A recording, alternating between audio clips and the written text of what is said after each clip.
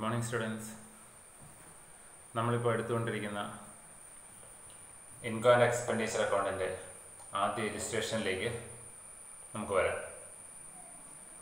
രജിസ്ട്രേഷനായിട്ട് നമ്മൾ ചെയ്യാൻ ഉദ്ദേശിക്കുന്നത് നമ്മുടെ പുസ്തകത്തിലെ എക്സസൈസ് സെക്ഷനിൽ കിടക്കുന്ന ക്വസ്റ്റ്യൻ നമ്പർ ടു ആണ്. Page number one point four zero നാൽപ്പതാമത്തെ പേജിൽ കഴിഞ്ഞ ദിവസം നിങ്ങൾ ചെയ്ത ഹോംവർക്കിന്റെ സെക്കൻഡ് പാർട്ട് ഹോംവർക്കിന്റെ ക്വസ്റ്റ്യൻ നിങ്ങൾ കണ്ടായിരുന്നു. അവിടെ റെസിസ് ആൻഡ് പേയ്മെന്റ്സ് അക്കൗണ്ടും ഇൻകം ആൻഡ് എക്സ്പെൻഡിച്ചർ അക്കൗണ്ടും ചെയ്യാനായിരുന്നു. നിങ്ങൾ റെസിസ് and payments account homework already ചെയ്തതാണ്. ഇൻകം ആൻഡ് എക്സ്പെൻഡിച്ചർ അക്കൗണ്ട് പിന്നീട് നമുക്ക് ചെയ്യാമെന്ന് ഞാൻ പറഞ്ഞിരുന്നു. ഇപ്പോൾ നിങ്ങൾ പുസ്തകമുള്ളവർ ആ പുസ്തകം എടുക്കുക. ക്വസ്റ്റ്യൻ നോക്കുക. ക്വസ്റ്റ്യൻ ഞാൻ വായിക്കുകയാണ്. From the following particulars of Pratheeksha club prepare റെസീസ് and payments account and income and expenditure account for the year hundred thirty first December two thousand fourteen നിങ്ങൾക്ക് ബോർഡിലേക്ക് നോക്കിയാൽ കാണാം.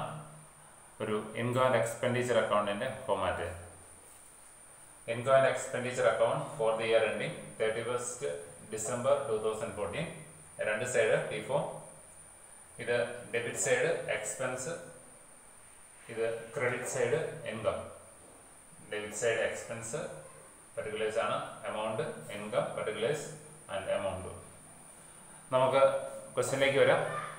Cash in hand on one one fourteen six hundred നമുക്കറിയാം income and expenditure account revenue ഇൻകങ്ങളും revenue എക്സ്പെൻസുകളും current ഇയറിലെ മാത്രം.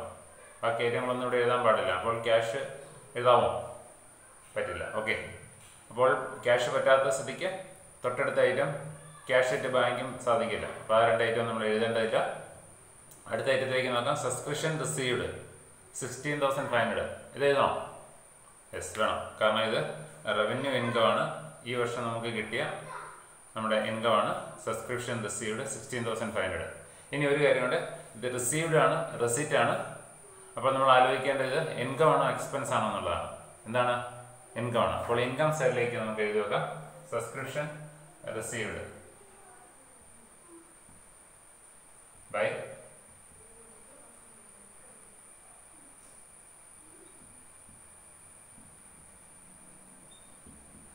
subscription 16,500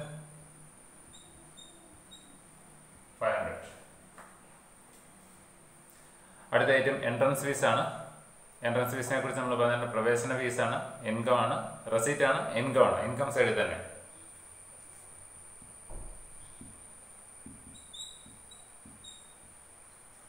entrance fee ആണ്. Entrance F എന്നായിരുന്നു ആയിരത്തി അഞ്ഞൂറ് രൂപ.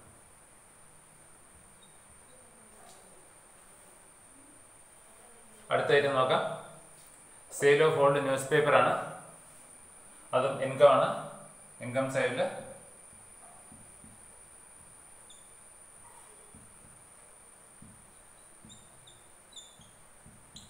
sale of old newspaper amount two hundred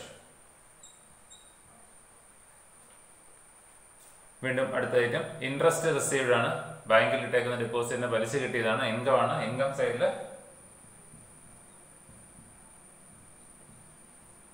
interest received ആണ്. ഇൻട്രസ്റ്റ് റിസീവ്ഡ് ആറ് ഞാൻ എഴുതി. Interest received amount three hundred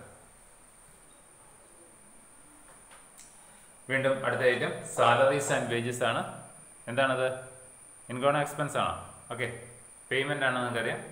ഒപ്പം തന്നെ ഇത് എക്സ്പെൻസ് കൂടിയാണ്. അപ്പോൾ എക്സ്പെൻസ് ആണ്. എക്സ്പെൻസിന്റെ സൈഡിലേക്ക് നമുക്ക് എഴുതി വയ്ക്കാം to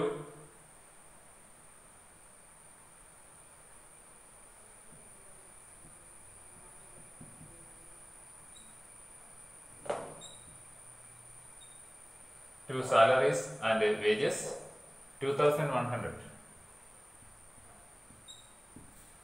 2100 ഇനി അടുത്തത് ഓണറേറിയം സെക്രട്ടറി ആണ്. എക്സ്പെൻസ് ആണ്.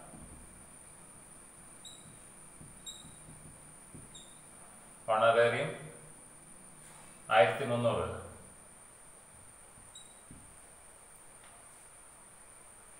നെക്സ്റ്റ് ലെക്ചർ ഫീ പെയ്ഡ് ആണ്. പെയ്ഡ് എന്ന് പറയുന്നത് പേയ്മെന്റ് ആണ് എക്സ്പെൻസ് ആണ്.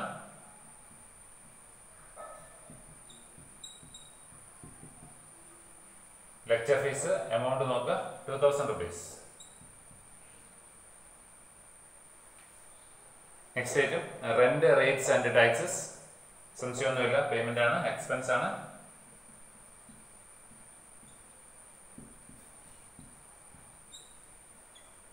Rent uh, rates and taxes 2200 2200 then miscellaneous expense ആണ്.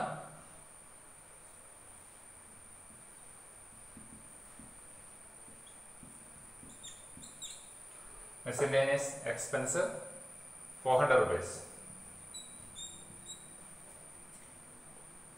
Then entertainment and sports expense expense ആണ്. ബാക്കി തന്നെ കിടപ്പുണ്ട്.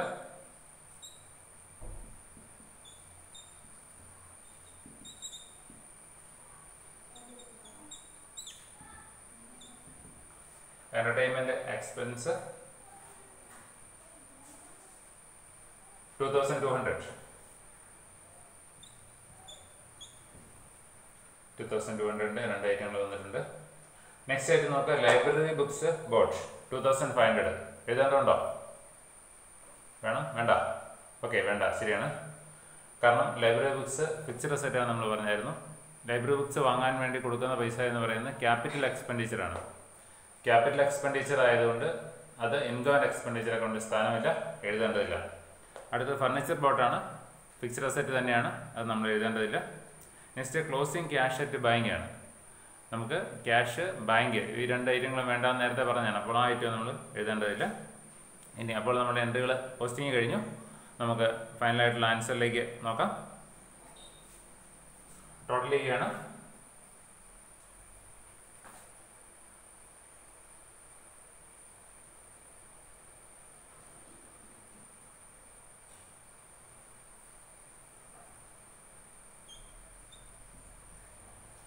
എയ്റ്റീൻ തൗസൻഡ് ഫൈവ് ഹൺഡ്രഡ്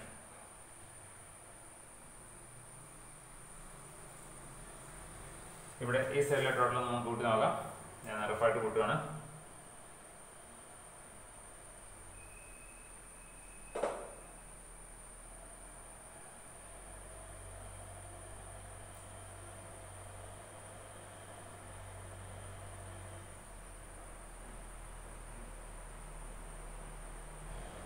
പതിനായിരത്തി ഇരുന്നൂറാണ് നമുക്ക് കിട്ടുന്നത് നമ്മൾ ഡെബിറ്റ് സൈഡിന്റെ ടോട്ടലാണ്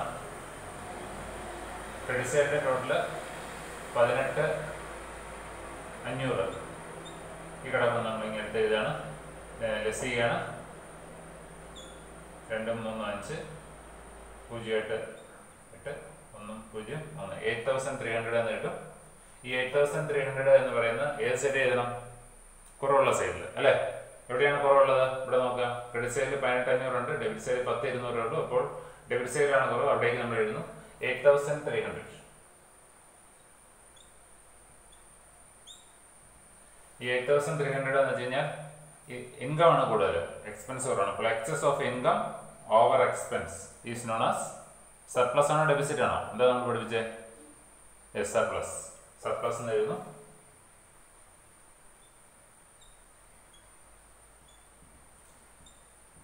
ബാലൻസിങ് ഫിഗർ ആണ്. ഇനി നമ്മൾ ഈ സൈഡിൽ നിന്ന് കൂട്ടി നോക്കുകയാണ്. കൂട്ടി നോക്കുമ്പോൾ നമുക്ക് കിട്ടുന്നു എയ്റ്റീൻ തൗസൻഡ് ഫൈവ് ഹൺഡ്രഡ് ആണ്. ഈ സർപ്ലസ് എന്ത് ചെയ്യണം? Transferred to capital fund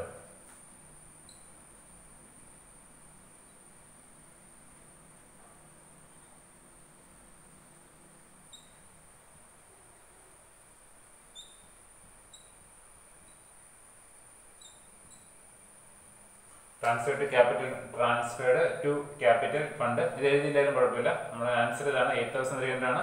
നിങ്ങൾ പുസ്തകത്തിലേക്ക് നോക്കുക. പുസ്തകത്തിൽ കിടക്കുന്ന ആൻസർ കിടക്കുന്ന closing cash in hand three thousand surplus eight thousand three hundred ആണ്. ആൻസറിലേക്ക് നമുക്ക് എത്തിയിട്ടുണ്ട്. അപ്പോൾ നിങ്ങളിത് ഒന്ന് കണ്ട് മനസ്സിലാക്കുക. അതിനുശേഷം പിന്നീട് ഇത് അടച്ചു വെച്ചതിന് ശേഷം നിങ്ങളുടെ ബുക്കിലേക്ക് നിങ്ങൾ തനിച്ചൊന്ന് ചെയ്യുക.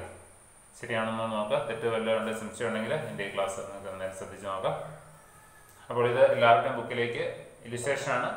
നിങ്ങളുടെ ബുക്കിലേക്ക് ഇലിസ്ട്രേഷൻ എന്നുള്ള ഹെഡ് കൊടുത്തിട്ട് question number two page number one point four zero എന്ന് എഴുതിയതിന് ശേഷം ഈ ആൻസർ മാത്രം ക്വസ്റ്റ്യൻ എഴുതണ്ട ആൻസർ മാത്രം എല്ലാവരും പകർത്തി എഴുതണം. ഒരു തവണ റബ്ബുക്കല്ല് തനി തനിച്ചൊന്ന് ചെയ്ത് കണ്ടുപിടിക്കണം. ഓക്കെ എല്ലാവർക്കും നമസ്കാരം.